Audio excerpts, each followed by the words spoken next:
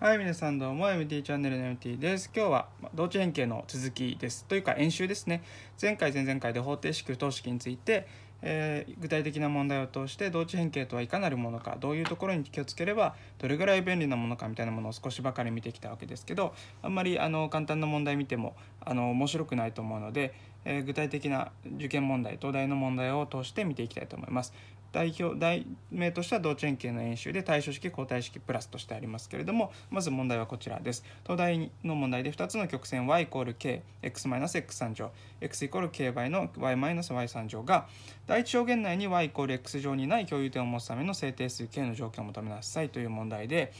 ちょっとあの何言ってるかよくわからないかもしれないですね。あのこの2つの式というのは y と x ひっくり返しただけなんですね。なので y イコール x 乗の点をもし取るとすると x と y ひっくり返してるだけなのでこれ y イコール x について対称な曲線になるんですね。なのであの y イコール x 乗にもし点がこれどちらか通るとすれば必ず共有点を持ってしまうわけです。ですけどそれ以外のところにもし共有点があったらどうですかっていう点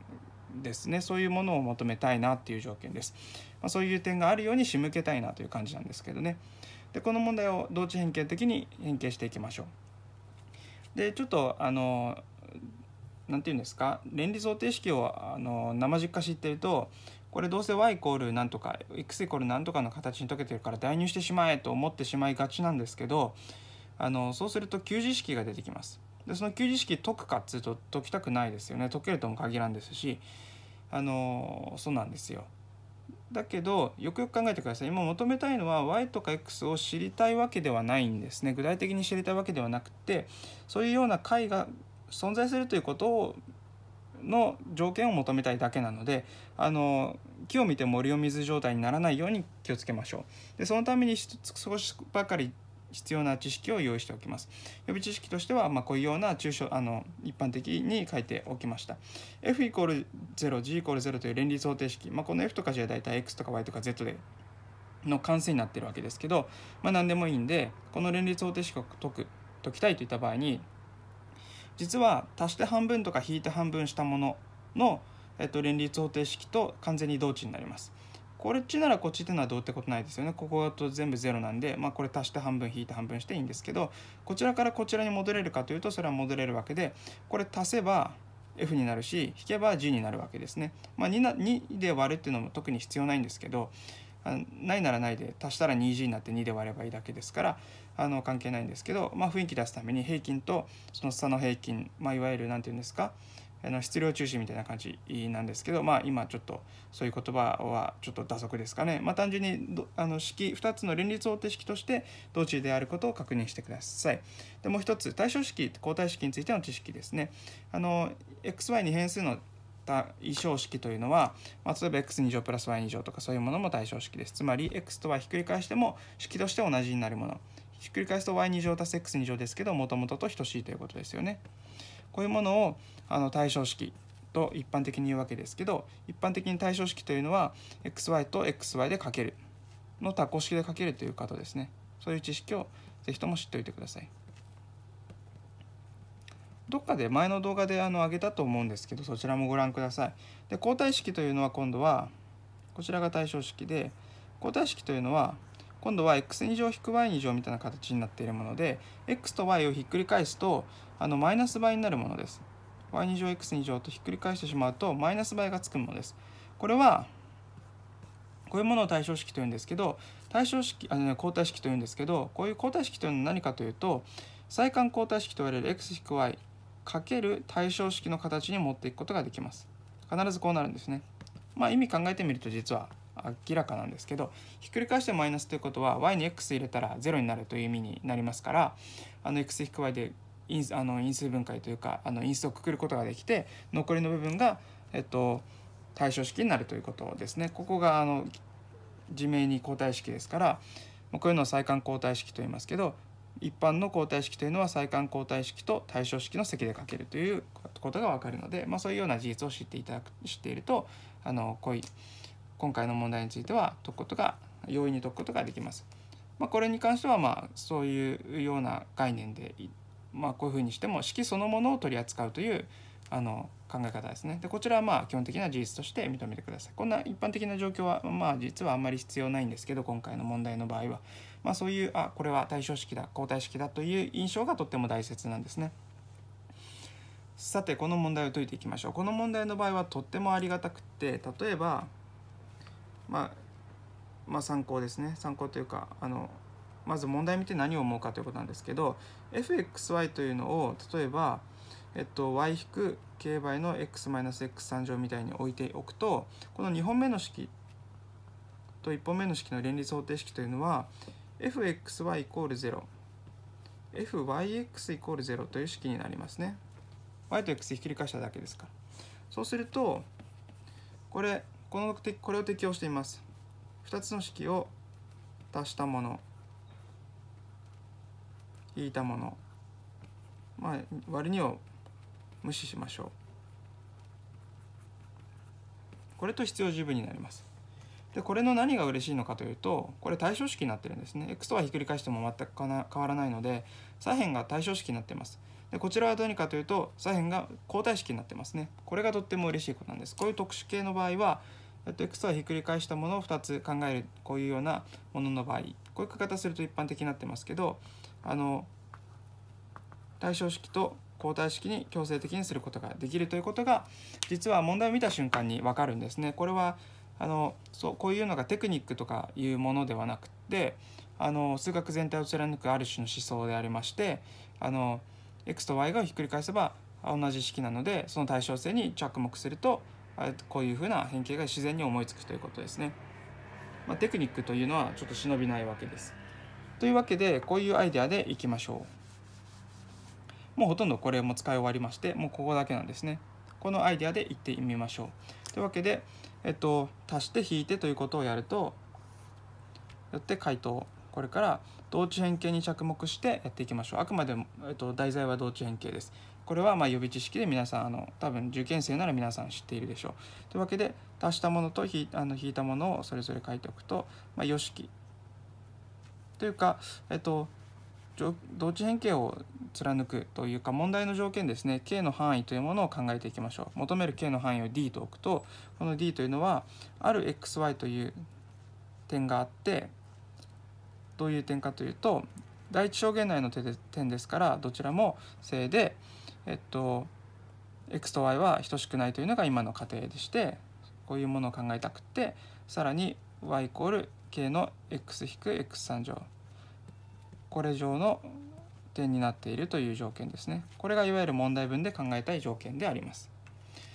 第一象限内に y イコール x 乗にないものでこれを両方とも満たすようなものを考えたい。でここだけ取りな取り出してちょっと計算してみようというのがあのこの辺で考えたことですね。でここだけちょっとと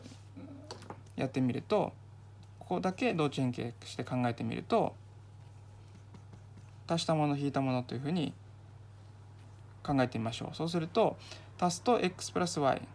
イコール k 倍の x 足す y マイナス x3 乗プラス y3 乗ですね。で引くと y 引く x イコール k 倍の x 引く y ですね x3 乗マイナス y3 乗ちょっと符号間違いそうなんですけど、まあ、こんな感じでで面白いのは今 x も y も正で x と y 異なるので x たす y は正だし y-x は0ではないんですね。なので x たす y と y-x でそれぞれ割ることができます。なので1イコール k 倍の、えっ、と1マイナス x2 乗プラス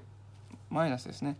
マイナス x2 乗マイナス xy プラス y2 乗。この辺対称式なんですね。対称式なので、まあ、こんな感じでできそうだって感じがわかるわけです。こちらは x-y で割っておきましょう。そうすると1マイナス x2 乗プラス xy プラス y2 乗。という式が得られます。ここが1でここがまあ x2 乗プラス xy プラス y2 乗ですね。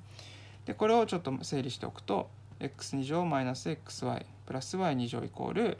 えっと、k 分の1で割ってこれを左辺に持ってってこれを右辺に持っていくと 1, 1引く k 分の1でこちらは x2 乗プラス xy プラス y2 乗がえっとマイナス k 分の1を移行するので k 分の1というわけでえっとここでも同じことをしましょうか。これもやはりあの xy ひっくり返しただけ、ほとんどひっくり返しただけなんですけど、まあ、同じように足した足したものを考えてみると、えっと、ここはまさに消えるんですね。で 2x2 乗プラス 2y2 乗イコール2なので x2 乗イコール y イコール1。で、えっと、引いたりしたもの、まあ、こっちからこっち引きましょうね。そうすると xy イコール k 分の 1k 分の2が半分でこんな感じのものが得られます。やはりあの最初予備予備知識で書いたところの1個目のものを何個も何回も使っているわけですね。というわけで、えっと、この辺のもの全部もう忘れてしまいましょう。この辺のもの全部もう忘れて初めからこの2つの式でよかったということになります。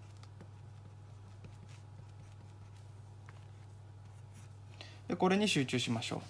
う。でそうするとここからちょっと2通りの方法を紹介いたします。まずグラフでやはり解いていきましょう。ここまで来てグラフというのもなんか不思議な感じがしますけどというのもこれそれぞれもうグラフで分かるんですね。第一象限内でこれ単円ですこちら側。は。で第一象限なのでここ含まないんですけどこれと k 分の 1k 分の1っていうのはまあ双曲線ですよね。k に k を定数だと思うと。でこういうもの k が変わるとこういうふうに k がちっちゃくなってくるとどんどん離れていって大きくなるとどんどんこうこういうふうに近づいていきます。でこういうようなものがあればいいんですね。こういうような xy がえっと、第一象限に存在すればいいというのが問題文の条件で気をつけなきゃいけないのは y イコール x 乗の点は除かなきゃいけないのでこれ以外で、まあ、この辺でちゃんと共有点を持っていてくれればいいというのがこの問題ですね。ですからどういうふうになるかというとギリギリなのはどういう状況かというとまさにここでスーッとこう接する時ですよね。この接する時というのは、えっと、ここの座標がルート2分の1ルート2分の1というのはすぐ分かることで y イコール x 乗では。でこう一般にはここは x y = k 分の1の場合ここルート k 分の1ですからこのルート k 分の1がルート2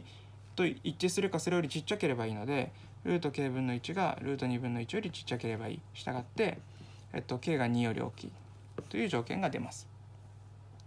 まあこんな感じですね。でもう一つやはりあのここでいきなり幾何学的にグラフを用いて解くというのは何ともなんか、うん、合いの子って感じで嫌ですよね。代数的にゴリゴリ進んでみましょう。で x2 乗足す y2 乗というのがえっともう皆さんここまで対称式だって言ってきたのにいきなりこう機械でやるのもなんですよね。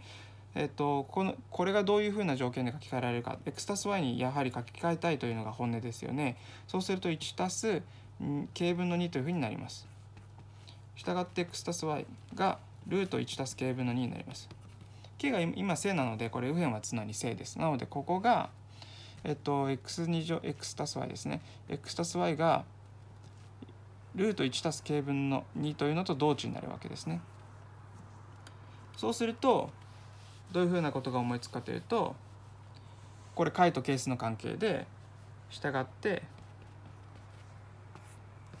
まあ、この同値というのはここから続いてきますけどこの同値性はつまり